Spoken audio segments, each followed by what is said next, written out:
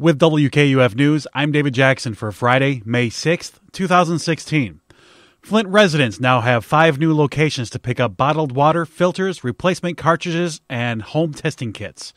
Amanda Emery of the Flint Journal reports that effective immediately, the Genesee County Land Bank on Pierson Road in Flint's First Ward, Antioch Missionary Baptist Church on Stewart Avenue in the Third Ward, and West Court Street Church of God on West Court in the 6th Ward will be available for Flint residents to pick up water supplies.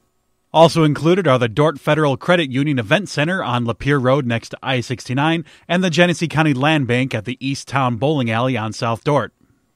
The Flint fire stations, as of this coming Monday, will no longer be available for water supplies, with the exception of Fire Station 3 on MLK. Michigan lawmakers could vote on a bill that would use scientific studies to determine the so called magic number of how high is too high to drive.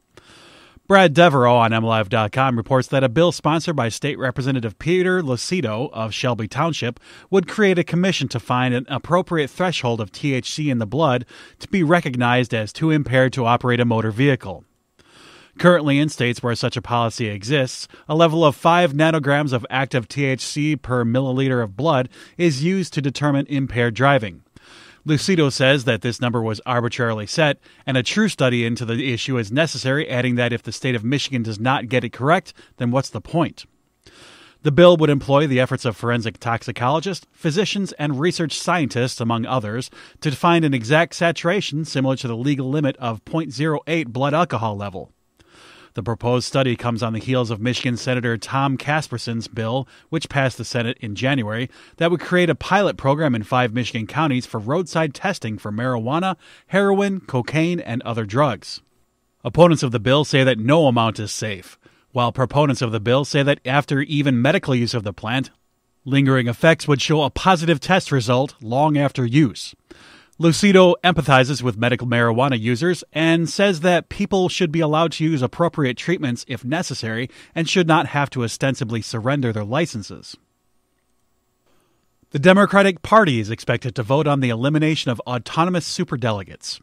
RT.com reports that Maine State Representative Diane Russell introduced a rule change that would require superdelegates in Maine to be assigned proportionally based on the state's caucus results, just like normal delegates. The current internal Democratic rules say that so called superdelegates, made up of party insiders, are allowed to vote however they wish, having the ability to ostensibly defy the will of regular party members by choosing purely for who they personally wish. Party leaders say that primary voting is not governed by the laws of normal elections, and Russell says that any approved amendment would not come until 2020. Warfarin a popular drug treatment for atrial fibrillation, among other uses, may be linked to dementia. The U.S. News reports that based on a study led by Dr. Jared Bunch, cardiologist at Intermountain Medical Center in Murray, Utah, the drug may contribute to dementia if the doses are not optimal.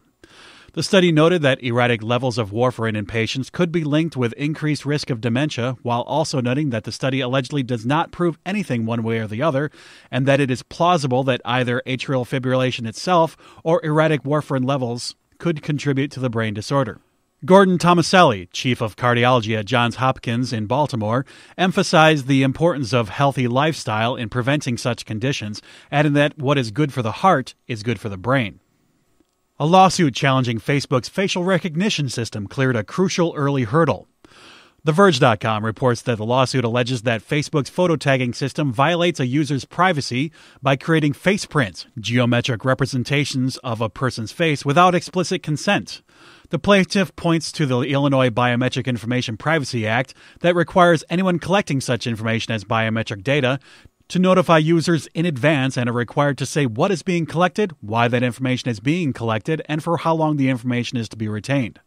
Facebook defends their claim, saying that the photo tagging system is disclosed in the company's 8,700 word data policy, noting that users have the option of opting out of the facial recognition system.